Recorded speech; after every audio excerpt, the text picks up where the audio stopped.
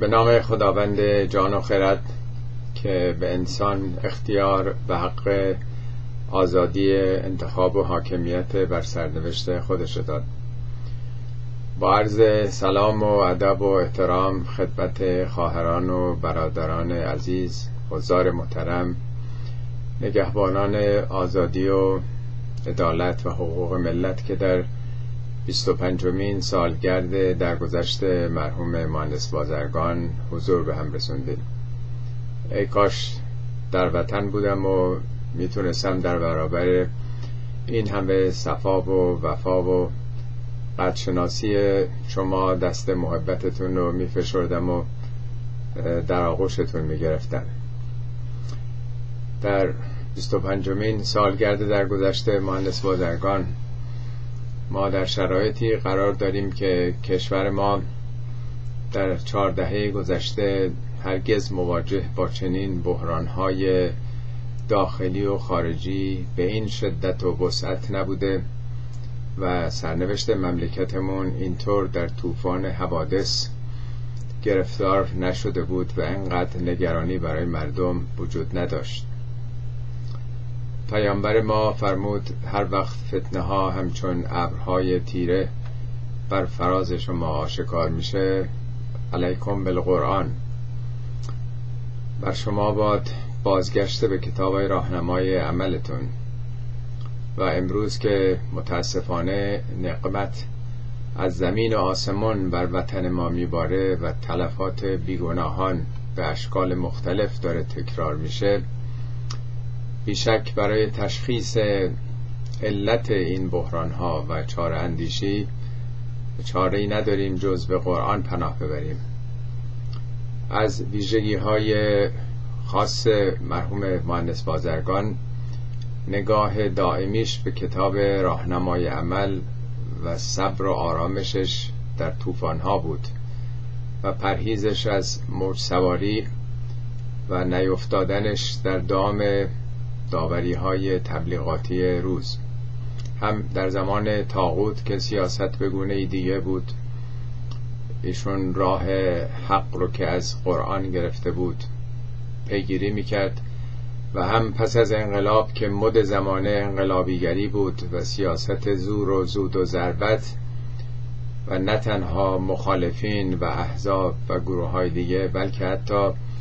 جناح عمده ای از نهزت هم طرفدار اون انقلابیگری بودند. ایشون به حال همون راهی رو که از قرآن دریافته بودند راه در واقع سنگر به سنگر رو در پیش می گرفتند پیرو پیامبری بودند که در بین دو قدرت میزیست در نبرد بین ایران و روم بود. پیامبری که به هیچ یک از این دو قدرت تکیه نکرد برای مبارزه با دیگری و مستقل بود و بر همون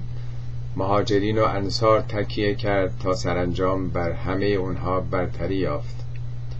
سرداران پیامبر کسانی بودند که در همون مسیر در مسیر عدالت و حقوق مردم پایمردی می کردند نهزت آزادی هم سردارانش امثال چمران ها بود که اگر در لبنان بود در برابر اسرائیل متجاوز می جنگید و اگر در ایران بود در برابر عراق متجاوز و هرگز برون از مرزهای وطن برای یک سلسله سیاست های نامعلوم و پیچیده و نامشخص نبرد نمی کرد حال پیش از اون که به ناسیونالیزم افراطی مرحوم پدر توجه بکنن در واقع به سیاست هایی که از قرآن از کتاب الهی اتخاذ می‌کردند باز میگشتند و پیرو آیات روشن قرآن و سنت رسولش و سیره اهل بیت متعرش به خصوص تجربه سیاسی حضرت علی در پنج سال حکومتشون بودند ما در این 25 مین سالگرد در گذشته مرحوم مهندس بازرگان با خدای خودمون تجدید عهد می‌کنیم و از بازرگان به عنوان یک دبیر کل و یک نمونه ای از نهزت یاد او رو زنده می‌داریم که مستمرا بر کتاب راهنمای عمل نگاه می‌کرد و در واقع اونچه که براش مهم بود صرف نظر از داوری های دوست و دشمن و سیاست های زمانه و مقتضیاتی که تحمیل می‌شد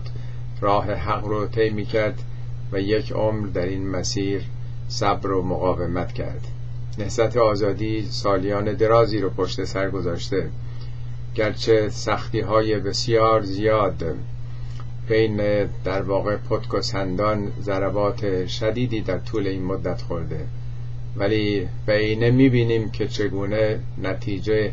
و محصول اون مجاهدت ها رو در اقبال مردم به اون سیاست هایی که یک روز محکوم بود یک روز در واقع برچسبی تلقی می شد داریم امروز مشاهده می کنیم بنابراین این مهم نیست که ما در چه شرایطی قرار داریم. مهم اینه که راه ما درست باشه و بتونیم در اون مسیری که حق هست هرچند با مشکلات و محدودیت های فراوان مواجه بشیم همون راه ادامه بدیم. برای همه عزیزان موفقیت در طریق حق و پایمردی رو از خداوند متعال می‌خوام و از رب کریم در واقع نجات ملت رو از این گرفتاری های عظیمی که کمتر گرفتارش بودیم در تاریخ گذشته خودمون استعدا می‌کنم و امیدوار هستم که ملت ما همچنان که در طول تاریخ تونسته موجهای بلندی را از سر بگذرونه از این امواج سهمگین هم به سلامت عبور بکنه و روزی شاهد حاکمیت ملتمون بر سرنوشت خودش باشیم. برای همه شما از خداوند سلامتی و سعادت